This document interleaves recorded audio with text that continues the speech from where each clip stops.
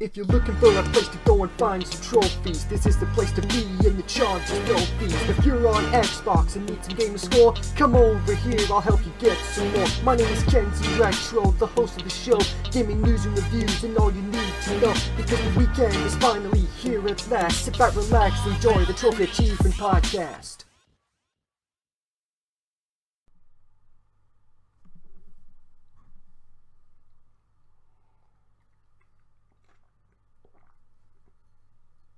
Yep, folks, Star Wars glass. Because I went to see the uh, Han Solo Star Wars film last night, and it had its moments, yes. They didn't waste any time with a romance subplot, though. Uh, a few twists that I couldn't quite get my head round. And what else? It it definitely felt more like a sci-fi action film than a Star Wars film. But anyway, oh, overall, it was okay.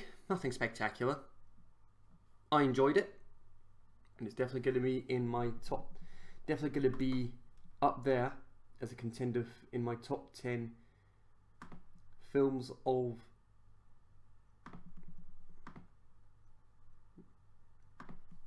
Wait, hang on, something doesn't quite add up here. Oh, wait a minute, hang on a second. Uh,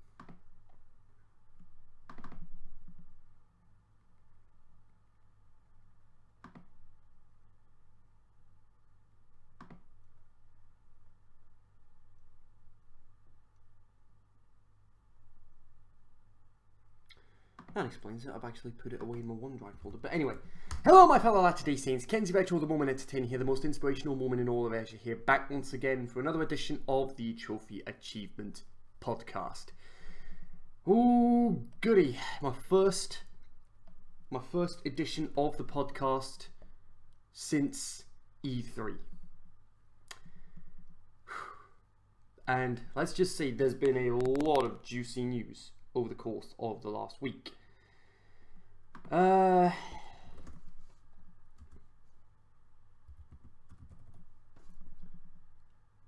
there, there's a lot of news. Um, Overwatch, uh, Blizzard teasing a new Overwatch hero or a new map. Uh, Xbox One not getting VR support. Uh, news on Pokemon Let's Go, Fallout 76, Crackdown 3, interestingly, and uh, crossplay as well. This is going to be interesting.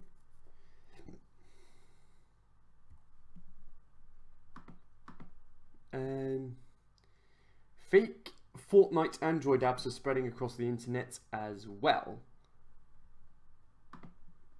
Um, there's uh, also Nintendo dropping the ban hammer on uh,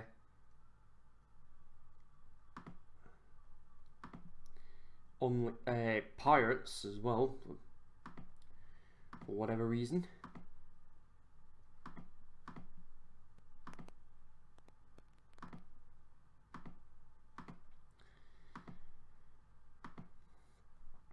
Uh, right, there we go. So yeah, um, and of course in the points and trophies section, just got my latest boomerang rental just yesterday. Gravel. Those are the achievements I'm going to be going through today. All that coming up on today's edition of the Trophy Achievement Podcast. But before that, big shout out as always to my good friends over at Boomerang Rentals. Like I said, packages start from as little as $3.99 a month. Sign up today, get a 21 day free trial, three free game rentals. There are no late fees. You can keep the game as long as you like, or keep the game forever at a discounted price on the online store. Once you, once you start renting, you'll start saving as well. BoomerangRentals.co.uk, the best place to rent your games. Let's all laugh at an industry that never learns anything. Tee hee hee. Ah, I love that jingle, and that means it is time for the gaming scrop of the week. and it's a very juicy one at that. And by juicy, I mean it's not regarding EA, it's not regarding Activision, it's not even regarding Konami. It is, in fact, regarding the World Health Organization. I know what you're thinking. The World Health Organization as a gaming screw up of the week? How exactly does that work? Well, let's find out, shall we? Because this is where things get very interesting. Prepare for a substantial rant on this topic. I might be here a while. So, let's do this, shall we? This is on June 19th by TechSpot. It's on the TechSpot website. World Health Organization officially classes gaming disorder, which should never have been thought of to begin with, as a mental condition. Are you serious? Kids, won't you step outside for a second?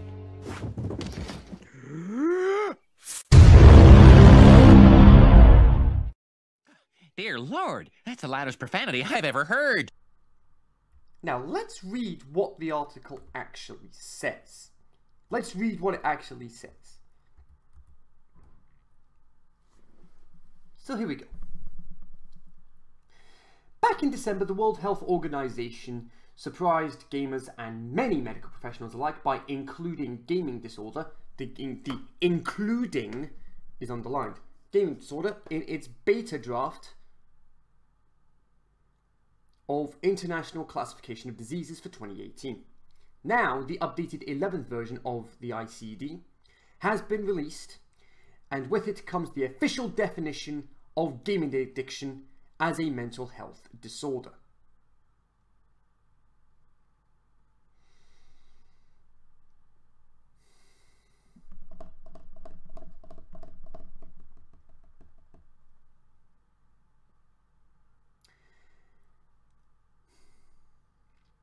Volume diagnoses the condition as being identified by three signs.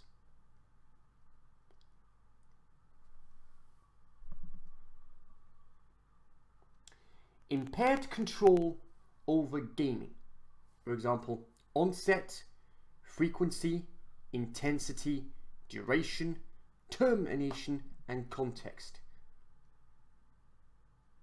Doesn't exactly help us with what it actually means. Increasing proximity given to gaming to the extent that gaming takes precedence over other life interests and daily activities. Hmm. Continuation or escalation of gaming despite the occurrence of negative consequences. Now that last one, I'm sorry, big no-no. And I'll get into why shortly. According to the ICD-11, the behavioral pattern of someone suffering from gaming disorder results in significant impairment in personal, family, social, educational, occupational, or other important areas of functioning. Dr. Vladimir Poznyak, the World Health Organization member who proposed the new diagnosis, of course it would be a Russian, told CNN, I'm not taking, I'm not creating a precedent. Uh, you clearly have if you proposed this to begin with. He said, World Health, he said, well, the World Health Organization has followed the trends, developments, developments which have taken place in populations and in the professional field. So, essentially, you're going to be classing esports gamers with gaming disorder. It's going to get to that point, folks, where they're going to class esports gamers with gaming disorder.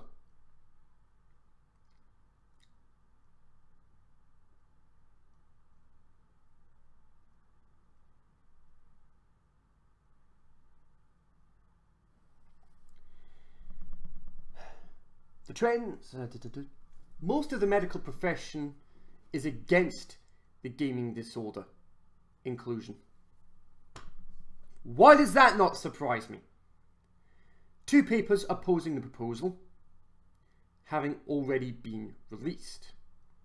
In the UK, the country's National Health Service, that's right here to be that's right here to be uh, exact, folks, has now started offering free treatment for those experiencing the disorder. Yeah, how do you diagnose the disorder though? Though exactly what treatment would be most effective is still under discussion. The gaming industry is also speaking out against the move. Thank you! Yesterday, a statement co signed by the ESA, ESAC, EGDF, IESA, IGEA, ISFE, K Games, and UBVNG explained that video games across. Take note! Take note, you World Health Organization clowns! Video games across all kinds of genres, devices, and platforms are enjoyed safely and sensibly by more than 2 billion people worldwide with the take note with the educational therapeutic and recreational value of games being well founded and widely recognized. We are therefore concerned to see gaming disorder still contained in the latest version of WHO's ICD 11. Despite significant despite significant opposition from the medical and scientific community. The evidence for its inclusion remains highly contested and inconclusive because it doesn't explain how it works. It doesn't explain properly how it works. It's important to note that ICD 11 has not yet been finalised and the current draft won't be submitted until next year.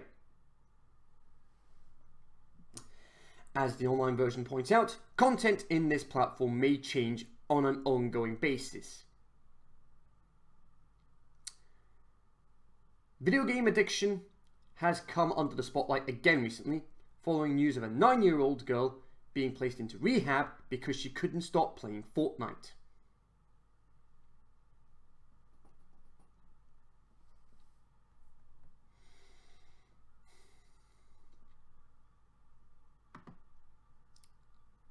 The gaming community has spoken, you clowns.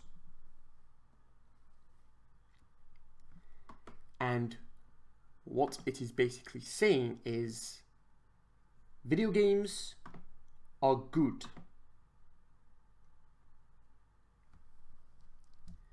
They can tell stories. They can immerse you in the world that they have created. They have some amazing soundtracks. Just look at Ori in the Blind Forest. Yes, I know! I know I keep singing Ori's praises. Shut up!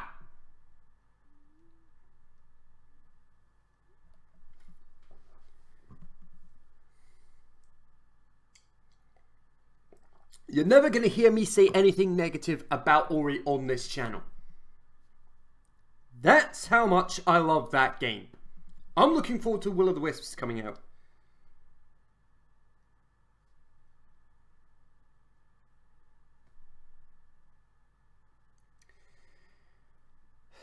But these well, like I say, these World Health Organization clowns do not have a clue what they're doing. Because I guarantee you, the World Health Organization clowns that create that came up with this proposal don't even play video games to begin with. There are people who review video games for a living. You're going to class them with gaming disorder as well? There are people like me who cover games on my channel. Not extensively, but my point still stands. You're to class people like me with gaming disorder as well? professional e- esports gamers, let's players, reviewers.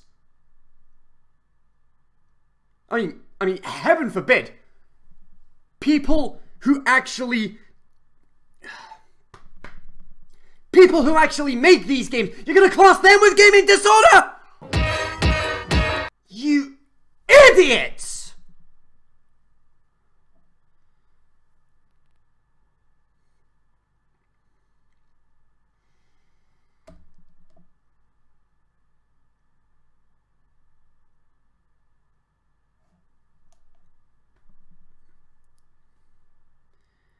And now you guys know why this is the biggest gaming screw up of the week. Worse than EA screw ups, worse than Activision screw ups. This is the biggest pile of trash I have ever come across. Video games are enjoyable, they are therapeutic and they do good for the world. It gives us a chance to escape reality. The fact that you've classed this as a mental condition degrades those that suffer from mental health issues, like myself, right now.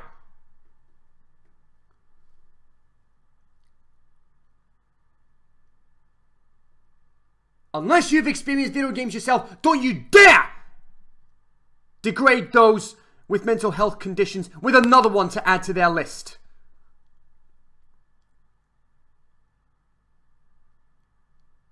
A former Love Island contestant died yesterday because of mental health issues.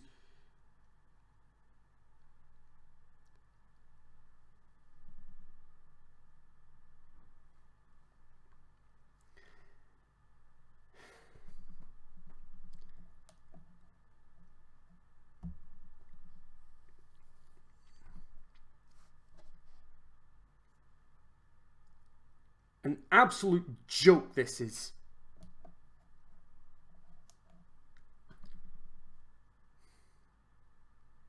The fact that these articles come up and degrade people with mental health issues, it just makes them all the worse.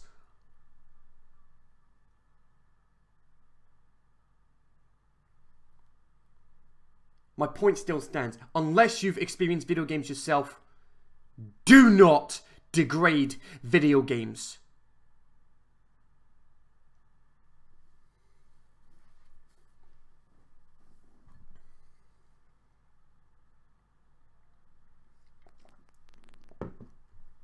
And regarding Island, folks, I don't I don't watch it, but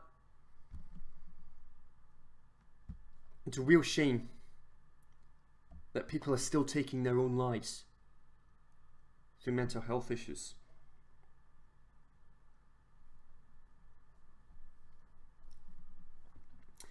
Anyway, on to more positive news. This is not a drill, ladies and gentlemen. This is not a drill. Trading is now available in Pokemon Go.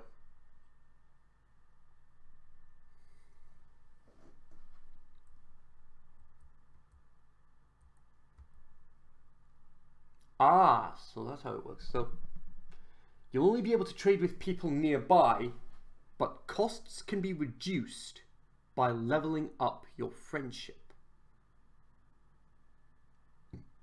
Okay. And this is on the IGN website.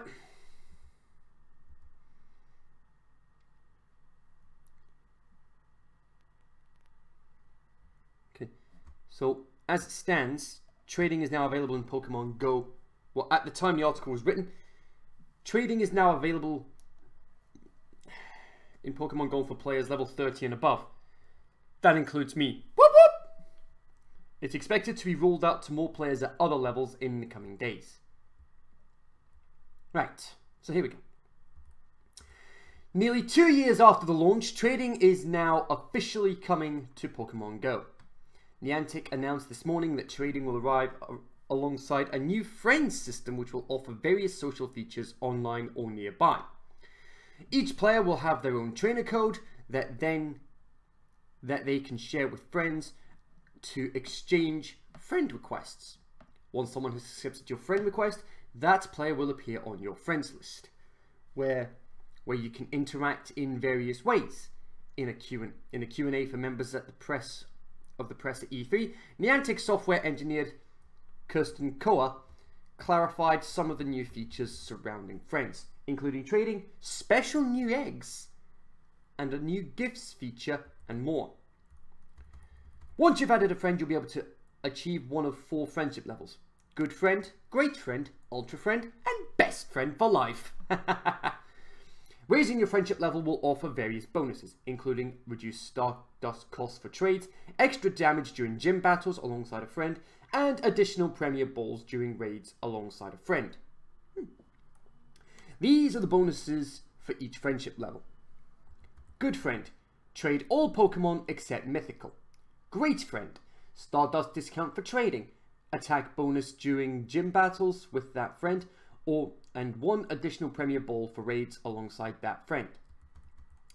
Ultra Friend, additional Stardust discount for trading, uh, additional Stardust discount for, for trading, larger attack bonus during gym battles with that friend, and two additional Premier ball Balls for raids alongside that friend. And Best Friend, major Stardust discount for trading for trading, largest attack bonus during gym battles with that friend, and four additional Premier Balls for raids alongside that friend. But it doesn't say anything regarding the raid battles themselves, apart from the Premier Balls.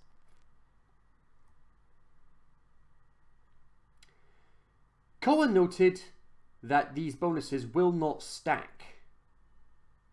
Ooh.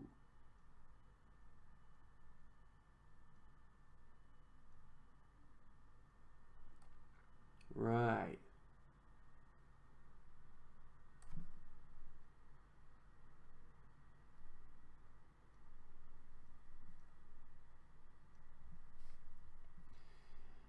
All right, let's see. Cohen noted that these bonuses will not stack. For example, if you're raiding with a best friend, which gives you 4 extra balls during raids, and an ultra friend with, that gets 2 extra raids during raids, you'll only receive the bonus from the single highest friend in your raid group. So you'd only get 4 extra balls for the raid, not 6. Seems fair.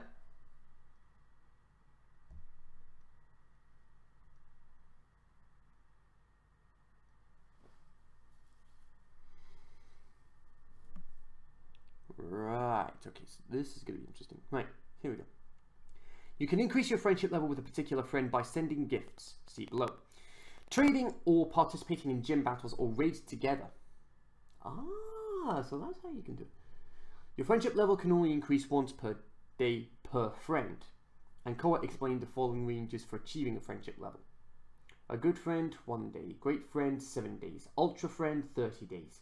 Best friend, 90 days that explain that explains why there's all why that explains why there's only um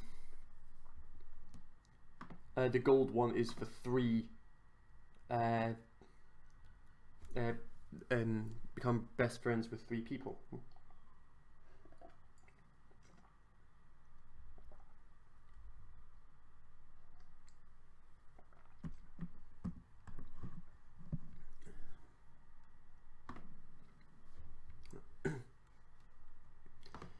Let's see, hang on a second.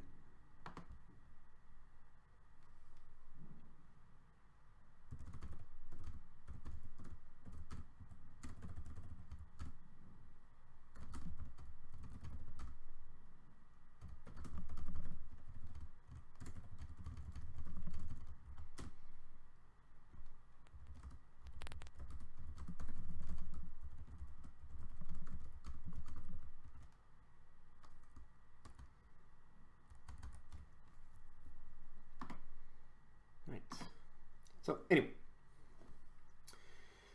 Let's see. Uh, you can increase it to friendship level, yada yada yada. The current cap for each player's friends list is 200 friends, but Koa said the number could grow in the future, and Niantic will never require players to pay for additional friend space with like with bag or Pokemon storage. Fair play. Trading Stardust and Pokemon IVs. This is very important, folks. Trades will only be possible with players on your friends list, and only if you're within 100 meters of one another. Players will need a minimum trainer level of 10 in order to participate in trades. You'll also be able to participate in a special trade, which is for legendary. Ah! There we go. That's what we're after. You'll only be you'll also be able to participate in a special in a special trade, which is for legendary Pokemon, shiny Pokemon, or Pokemon not currently in your Pokedex. This way I can get the regionals. And the other legendaries as well.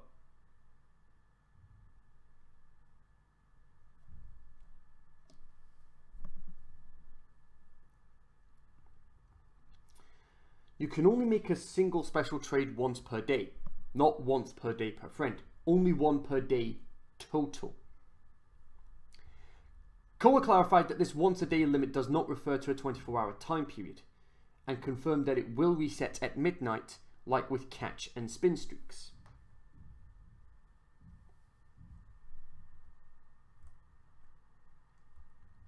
So this is on the trading. All trades will require Stardust, with massively reduced cost depending on your friendship level. An, example, an example in screenshots released by Niantic shows a 1,000 a 1, 1 million star, Stardust fee for a special trade, reduced to just 40,000 if players are best friends. Koa confirmed that both players will pay the same Stardust fee for each trade. Players will also receive candy bonuses depending on the original catch location of the Pokemon being traded. Oh. If the Pokemon were caught far apart, you'll receive extra candy. The current upper limit on these bonuses is a 100 kilometer bonus distance between the Pokemon's original locations. Oh, okay. Finally, the HP and C. So, right. So you can't. So say you get. So say you caught a Pokemon in Glasgow, for instance, and somebody caught one here, where I'm staying right now. It would be the distance between those two locations.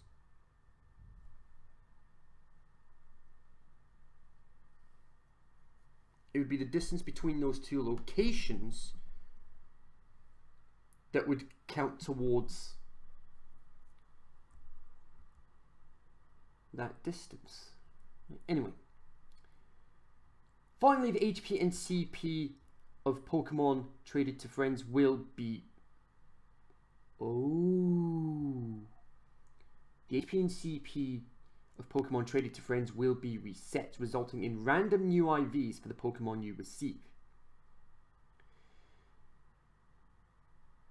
The range of possible HP and CP outcomes can be extremely wide or extremely narrow depending on your friendship levels.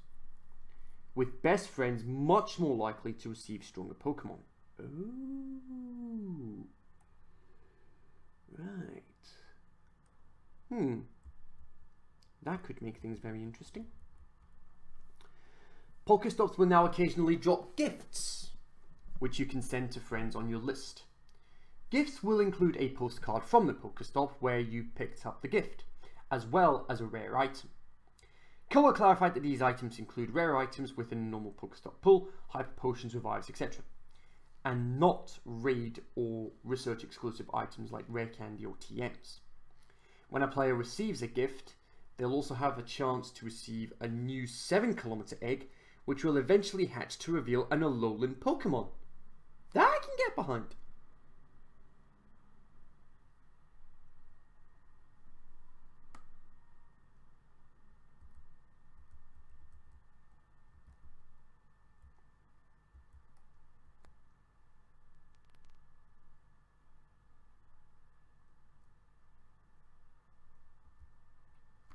The particular Pokemon in the 7 kilometer eggs will be exclusive to hatching, though this will not be the only way to receive a Alolan Pokemon moving forward. Other Alola forms like the previously released Exeggutor, which for some reason is a dragon, and the recently announced Diglett and Geodude will still spawn in the wild. Up, more upcoming new features.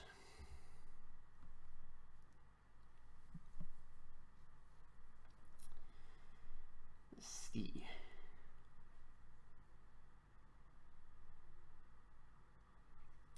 Niantic also teased more new additions to Pokemon coming to Pokemon Go, including new music and additional social features. New music, eh? Hmm, okay. Niantic said the new friend features outlined above, including trading, are coming soon and are expected to be released before this year's Pokemon Go Fest, which will take place in, on July 14th and 15th in Chicago. Niantic product marketing manager Kento Suga said the goal is to make Pokemon Go the most sociable game in the world and to keep an eye out for new features. One example of a new social feature on Pokemon Go's roadmap is the ability to add friends via Facebook. Ooh!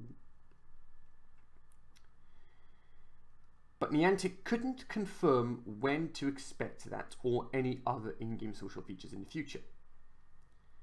Um, how about actually fixing the main issues with the game before doing anything else?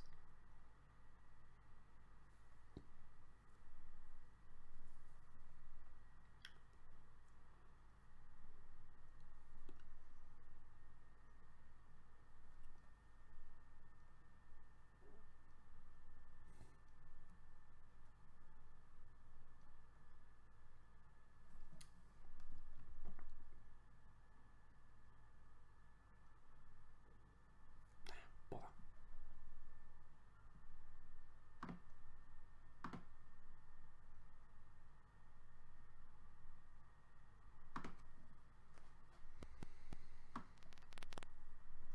Right. So, on to the next one.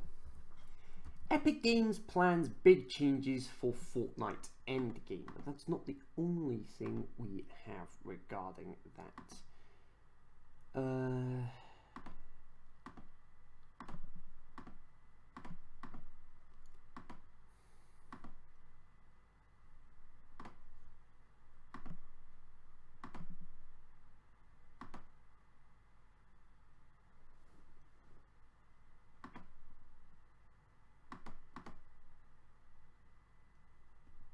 right.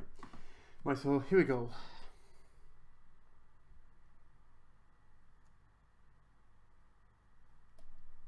Right. So we go. Fortnite could be about to get its biggest gameplay shakeup in months, as Epic say they don't want it to always end with just build lol. it might be the most popular game in the world, but if you've ever played any amount of Fortnite, then you know how it usually ends. With shotguns and a few remaining players desperately trying to build barriers to hide behind.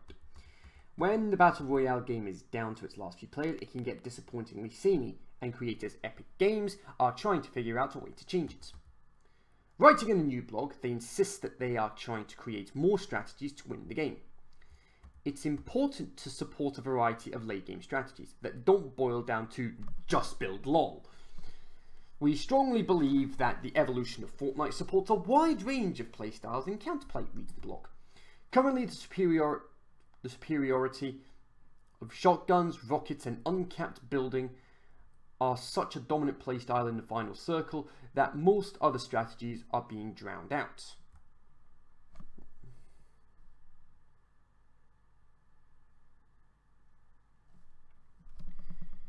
Epic has already made changes to the effectiveness of shotguns and in and in the blog also talk about adding resource caps so that it will be more difficult to build complex structures. Not every encounter should have to end in a build off, says the blog.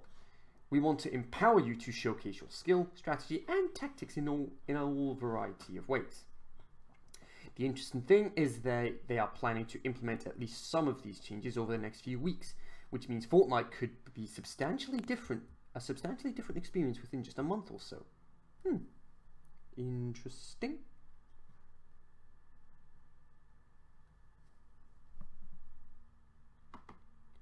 I should get I should get myself into Fortnite at some point. I mean, I've played a few games of Fortnite, but I should get myself properly into it. 2K looks to double gaming portfolio over the next five years. Ooh, now this could be interesting. Made up of half a dozen of a half dozen studios responsible for games like Bioshock 2, Civilization, and Mafia 3, not to mention the NBA 2K games as well, which are much better than the NBA Live games. Right. 2K Games is looking to grow significantly by 2023, 2K President David Ismailer told Variety. Our aspiration is to double our size in five years, he said, and they seem to be in a position to do that. Parent company Take-Two Interactive is the publisher behind Grand Theft Auto 5, which sold about 95 million copies and continues to bring in a steady stream of cash four years after its release. Gee, where's nearly five in fact? Take-Two has been slowly investing some of that cash in acquisitions. Last year, they, the, the company snagged Kerbal Space Program and then launched a new publishing label, Private Division. The company also founded Ghost Story Games last year. Ismail had said Take-Two has put a lot of trust in 2K to grow and expand its portfolio and that the company is looking to 2K to essentially wisely invest some of its profits. With that in mind, Ismailer said 2K has three priorities right now. Grow its portfolio, create more content, and find a way to keep gamers and com eh, to keep the gamers the company attracts inside its games. Just ask the NBA 2K series. I love it. 2K6 2K16 was my favorite, but 2K14 was the first one I actually played. That's what got me into basketball properly.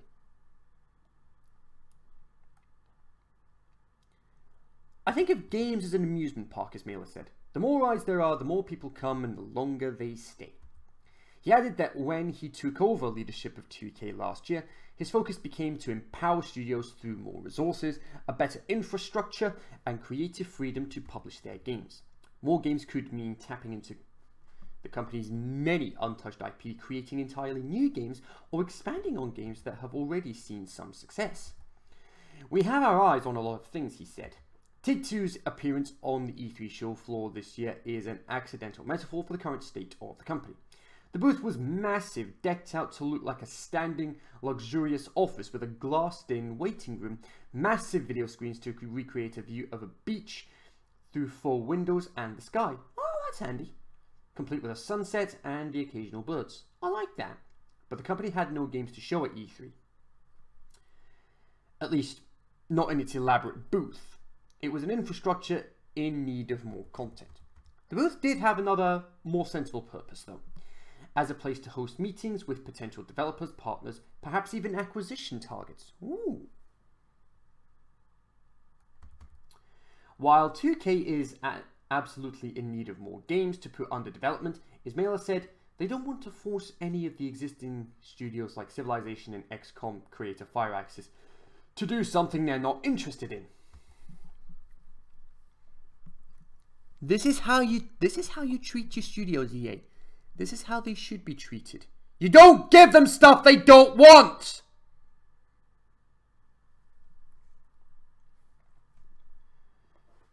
Whatever they are passionate about doing is what Firaxis will work on next, he said.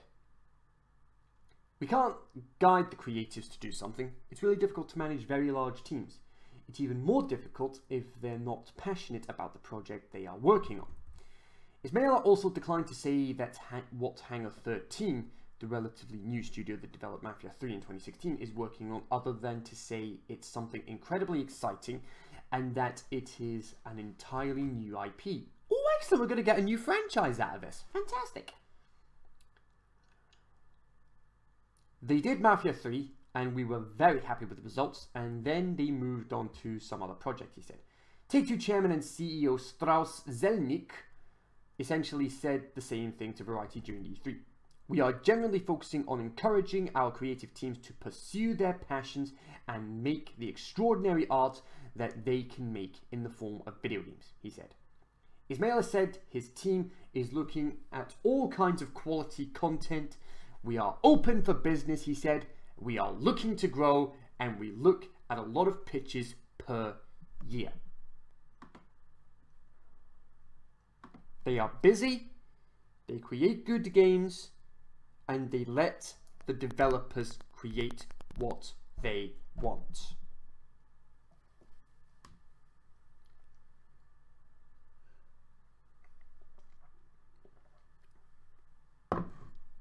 Like I said, EA, this is how you treat your video game studios. You don't acquire them, give them a project they can't do, and then shut them down.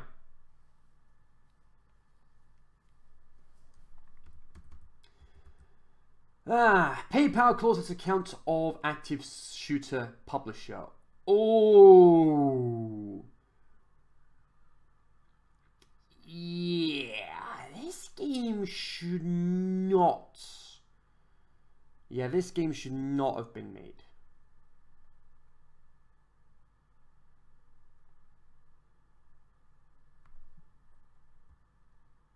Right.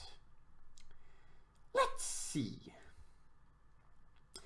Active Shooter is a tactical FPS designed to simulate school shootings.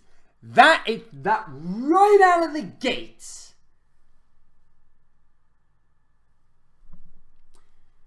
I mean, whichever clown thought this was a good idea should have been keep it PG, keep it family friendly. Should have been kicked out the office and never been allowed to make the game to begin with.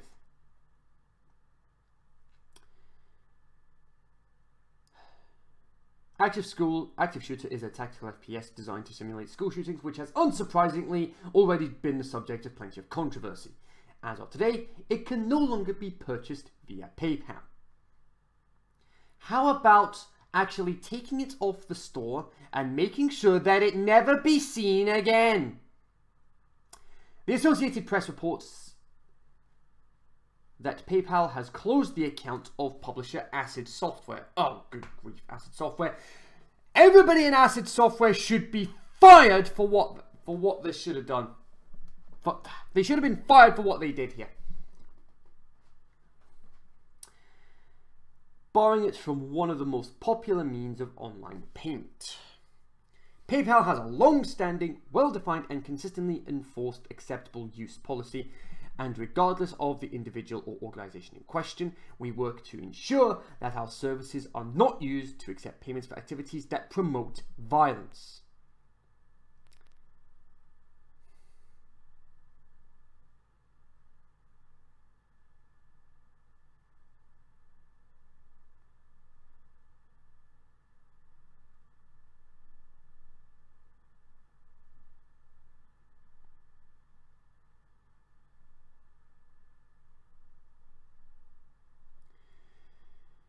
Acid Software confirmed the closure on Twitter, adding the hashtags quit censoring us, freedom of expression, and we will be back. I'm sorry, but I have to agree with PayPal on this one. You cannot create games like this and not expect to have backlash from it. They actually thought creating a game that simulates school shootings would be a very good idea. Have you not seen what's been happening in America?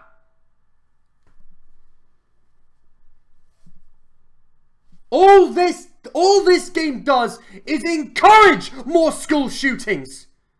That's all this game does.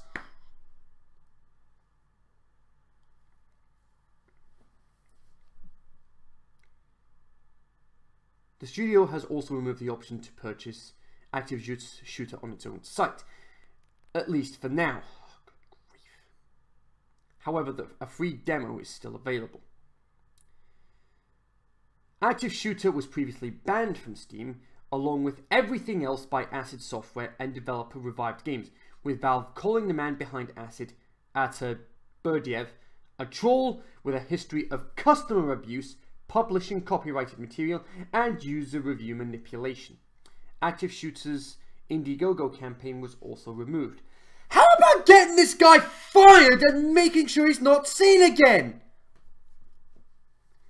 In a statement to AP, Berdiev said it seems like everyone in the US is trying to censor us. Good! Because this game shouldn't have been made! Whilst not, whilst not explaining ex what exactly we are violating. Um, you created a game that simulates school shootings, which are already a major issue in America!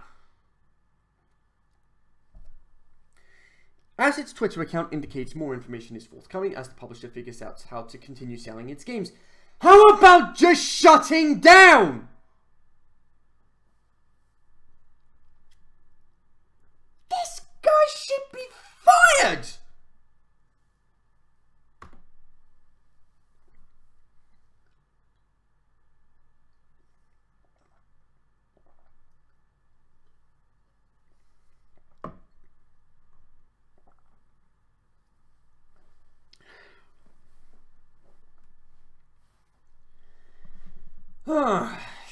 And surprise. More news regarding Activision.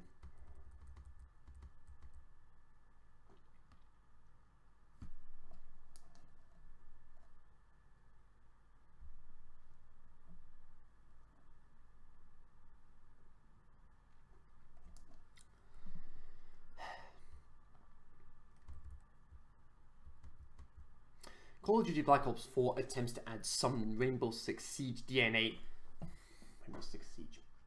Rainbow Six Siege. Another copy and paste! Do something new for once! Stop copy and pasting!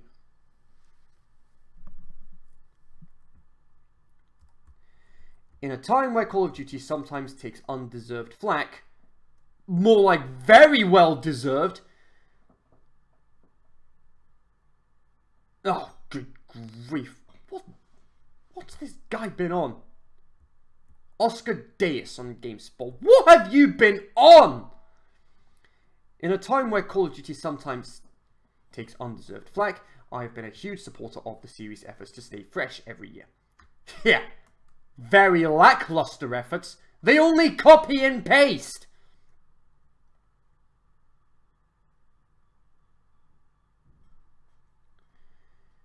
Over the past decade, we've seen the franchise visit modern day, World War II, Vietnam, and various futuristic settings that nobody cared about. The only games they cared about were the first Black Ops, the first Modern Warfare, and Modern Warfare 2. And World at War for that matter. And that's it! We've seen it be a traditional boots on the ground shooter, an over the top military blockbuster, a psychological thriller, and a what if sci fi doomsday tale complete with rocket boosters and exoskeletons. Last year we were told Call of Duty Infinite Warfare was the wrong game at the wrong time. It was the wrong game that should never have been made to begin with. With the implication being that audiences were sick of futuristic warfare after three games in a row set beyond the present day. That made it an odd decision then for Call of Duty World War II successor once again to head back to the future. You idiots! You could have made Black Ops 4 set in the Korean War. Just a suggestion. You could have used the Korean War. But no! You have to go back to the future. We're gonna have jetpacks, we're gonna have exoskeletons, we're gonna have Battle Royale when we've got PUBG and Fortnite to already take care of that!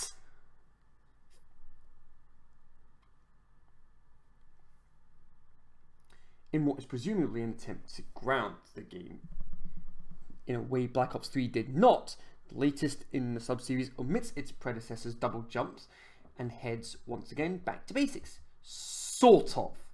It's not back to basics if it's sort of. While Black Ops 4's futuristic agility powers may have been scrapped, good, the somewhat generic near future setting has been preserved. Why am I not surprised? I don't think many people had a problem with rocket boosters. To the contrary, I think rapid movement capabilities the rapid move, move, movement capabilities they brought, have come to define the series. Rather, I think people were sick of the near future aesthetic and storyline. They're just sick of the same copy and paste gameplay they see every single year. I certainly was, but Black Ops 4 maintains that the drops maintains that and drops the most interesting part of the advanced Call of Duty games, the movement. How exactly are they dropping that? Oh, this doesn't mean Call of Duty has slowed down. However, Black Ops 4 is just as fast as you've come to expect from the series. You can, you can't, you just can't wall run like you could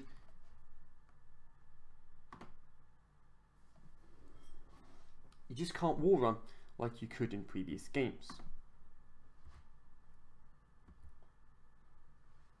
Like you could in Advanced Warfare, Infinite Warfare or Black Ops 3.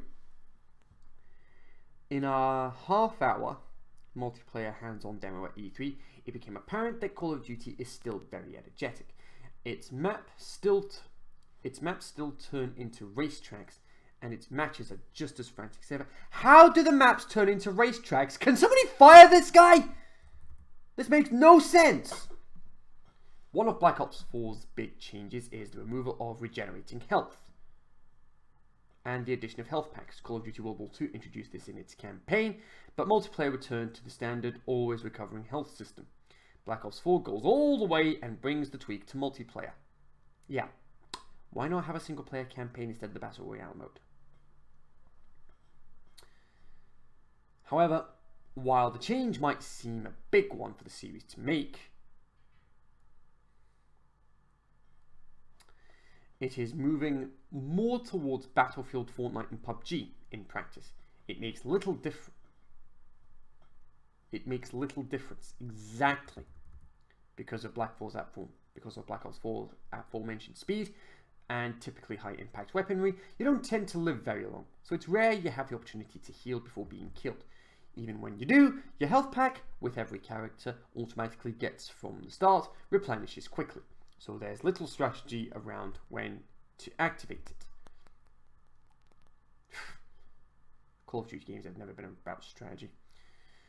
The much flaunted tactical improvements, if you can call them that, most notably, the specialist individual skills such as deployable barriers and barbed wire are similarly less notable in game than they might appear.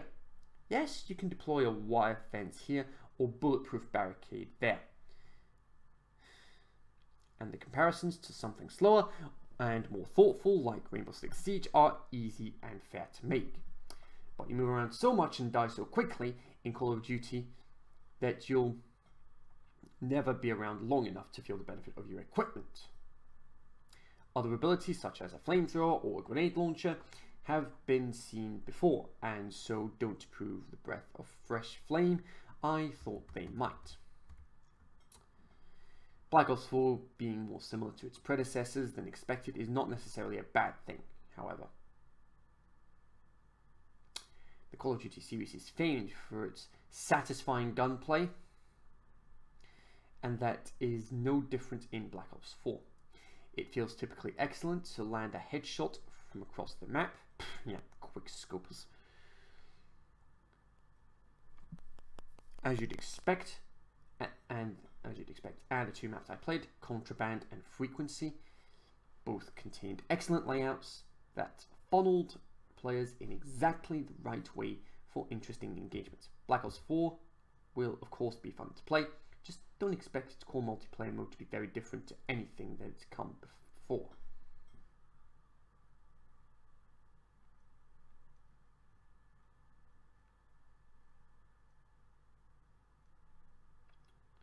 Oscar is GameSpot's staff writer and and as the youngest member of the UK office, he's usually the butt of the joke. Good grief. Get that guy fired because his head's up in the clouds.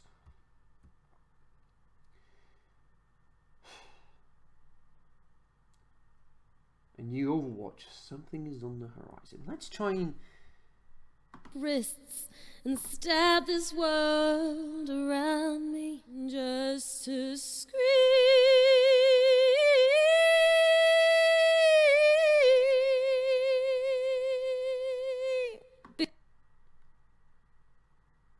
That uh, uh, that was not planned. I swear my life, that was not planned. That voice, though. Wow. Anyway,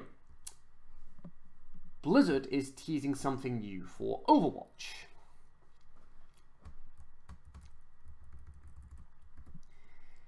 It hasn't been especially long since Overwatch's last new character and map were added, but Blizzard seems to be already teasing what the shooter's next player or hero or locale will be. It's very, all very, it's all very mysterious for now. But based on the teasers released in the past, we can expect several follow-ups in the coming days. This first teaser is accompanied by the words, calm before the storm. It shows what looks like an alleyway with a variety of sprays and posters on the wall.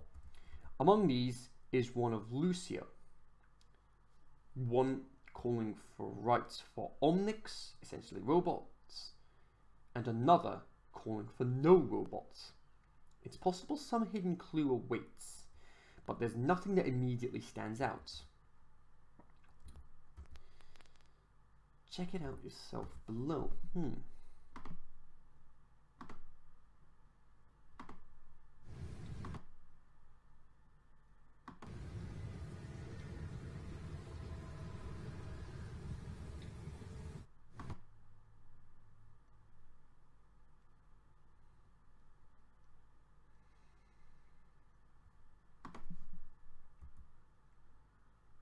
That's it.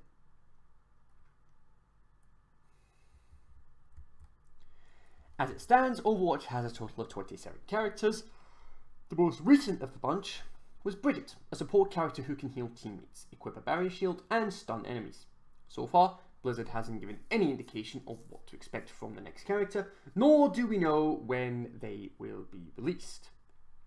As always though, any new addition to the roster has the chance to dramatically shape up, shake up the game, both for casual players and on the competitive slash Overwatch League side. What we can expect new characters for Overwatch to continue to roll out, as Blizzard does seem keen on moving to an Overwatch 2. What people might not realise is the team now is significantly bigger than it was when when we shipped the game,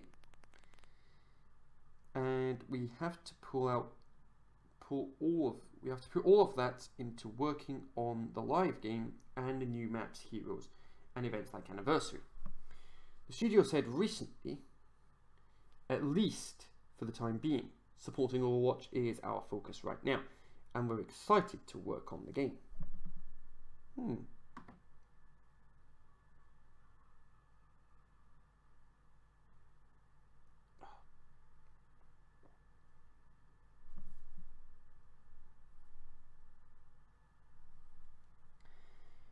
Very interesting, I would say. Thanks. So, as it stands, we don't know what's going to be happening.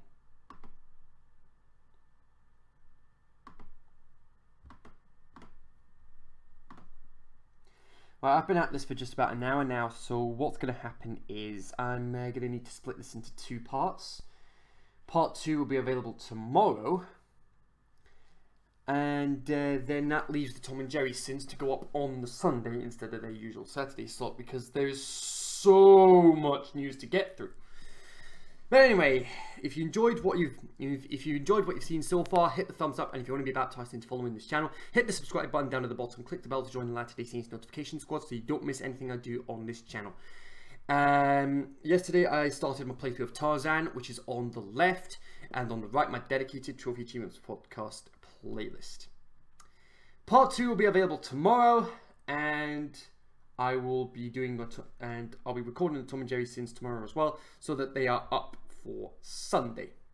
So, anyway, in the meantime, I'll see you guys again very soon. Have a fantastic day. Peace out and stay faithful.